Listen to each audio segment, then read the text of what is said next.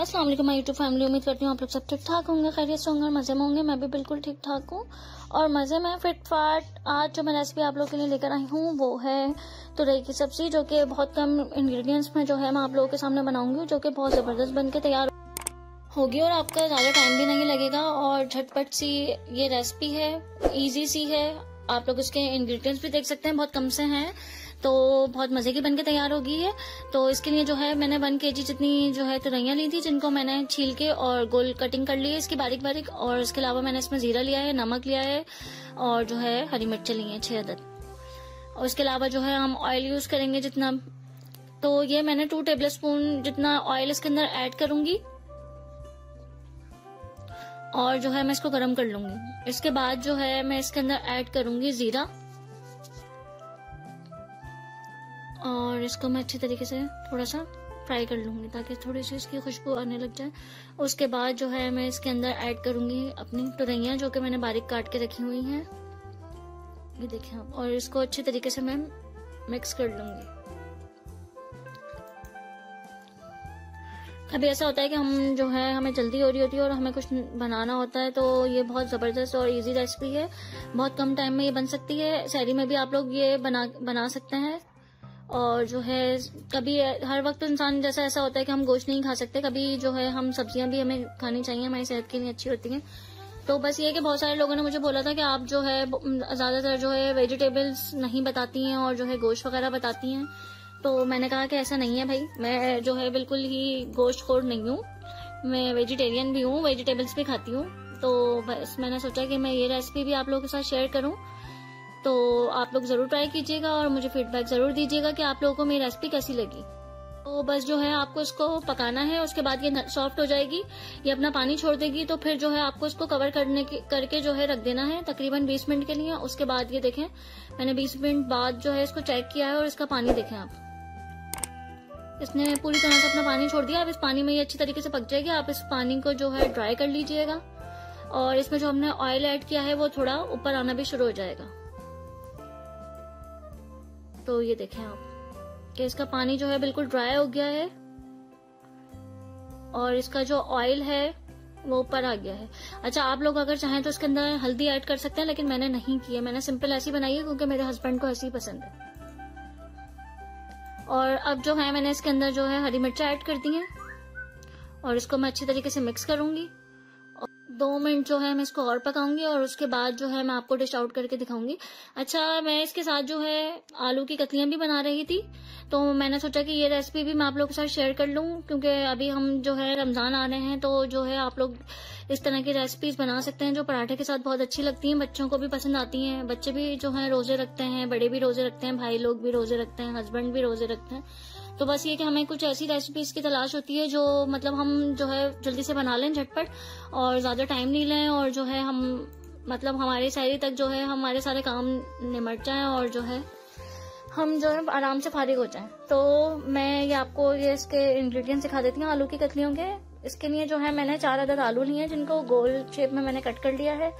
उसके अलावा जो है, मैंने तीन अदद टमाटर लिए हैं, एक अदद मैंने छोटी साइज़ की प्याज ली है, जीरा लिया है, एक टेबल स्पून और जो है हाफ़ टेबल स्पून के बराबर हल्दी ली है कुटी हुई लाल मिर्चें लिए हैं, और चार अदद जो है, मैंने हरी मिर्चें ली है, हरा धनिया लिया है, और कुटा हुआ, भुना हुआ जीरा और धनिया लिया है।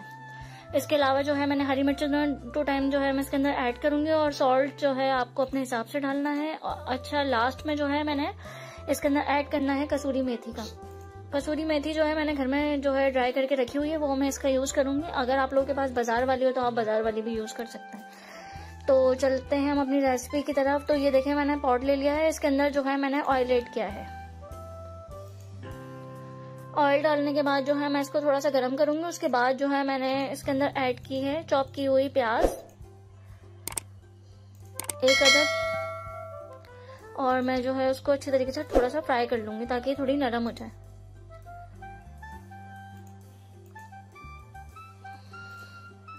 बस इसका थोड़ा सा कलर चेंज होगा तो मैं इसके अंदर ऐड करूँगी लहसन के जबे जो कि मैंने चॉप करके रखे हुए थे। मैं आपको शायद इंग्रेडिएंट्स के साथ बताना भूल गई थी।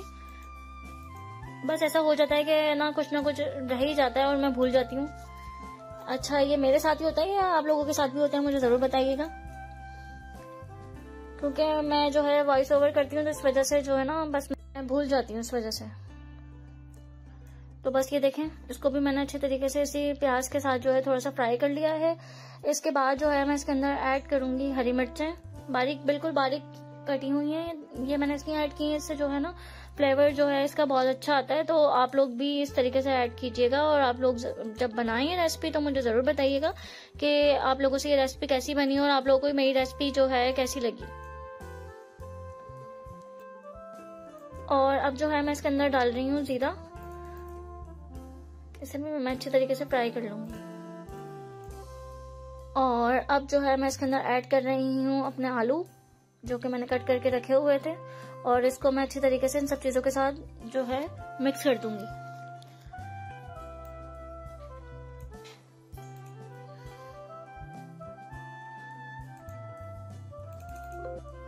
तो ये जिस जब ये अच्छी तरीके से मिक्स हो जाएँगे, फिर जो है मैं इसके अंदर ऐड करूँगी बाकी के स्पाइसेस कुटी हुई लाल मिर्चें और हल्दी, नमक। और ये जो तीन अदद मैंने टमाटर लिए थे, चॉप किए हुए, वो भी मैंने इसके अंदर डाल के और इनको भी अच्छे तरीके से मिक्स कर दिया।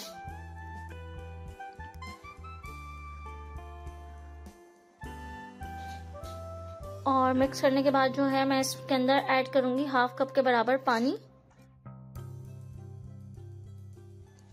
आप लोग जो है, जिस हिसाब से बना रहे हो, उस हिसाब से आप जो है ना, पानी की क्वांटिटी कम या ज़्यादा रखिएगा। और स्पाइसेस की भी और जो है टमाटर की, प्याज की। तो बस मैंने इसके अंदर हाफ़ कप जो है पानी डाल के और इसको कवर करके रख दिया तकरीबन 20 मिनट के लिए। तब तक हमारे आलू गल जाएँ। तो ये देखें, हमारे आलू जो है गल चुके हैं और जो है पानी जो था वो बिल्कुल ड्राई हो चुका है।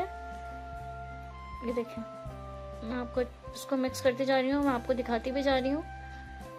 ये देखें, इतनी ज़बरदस्त से इसकी शक्ल आई है और इतनी ज़बरदस्त से अभी इसकी खुशबू आ रही है। और बाकी के जो मैं इसमें इंग्रेडिएंट्स ऐड करूँगी तो उसके बाद जो है इसका मज़ा जो है और ज़्यादा दुबाला हो जाएगा।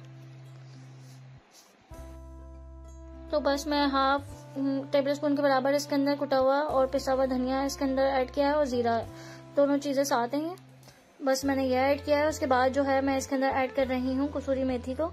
जो मैंने आपको बताया कि घर की सूखी हुई है तो बस मैं इसको तोड़ के अच्छी तरह से और इसके अंदर डाल दिए और इसे मैं भी अच्छी तरीके से मिक्स कर दूँगी। तो जनाब, ये मेरी रेसिपी जो है तकरीबन ऑलमोस्ट जो है बन चुकी है।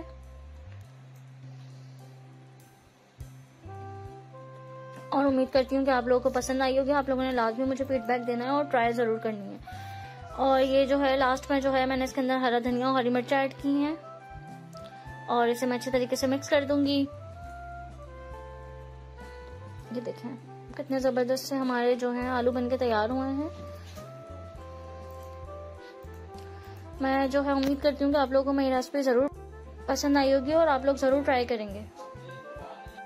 तो अगर आप लोगों को मेरी आज की रेसिपी अच्छी लगी है तो प्लीज़ मेरे चैनल को लाइक करें शेयर करें सब्सक्राइब करें और मुझे अपनी दुआओं में याद रखें। और मुझे फीडबैक ज़रूर दीजिएगा मेरी रेसिपीज़ का। और जो है मुझे कमेंट सेक्शन में ज़रूर बताइएगा कि आप लोगों को जो है मेरी रेसिपीज़ कैसी लग रही हैं और अगर आप लोगों ने ट्राई की हैं तो आप लोगों से कैसी बनी है।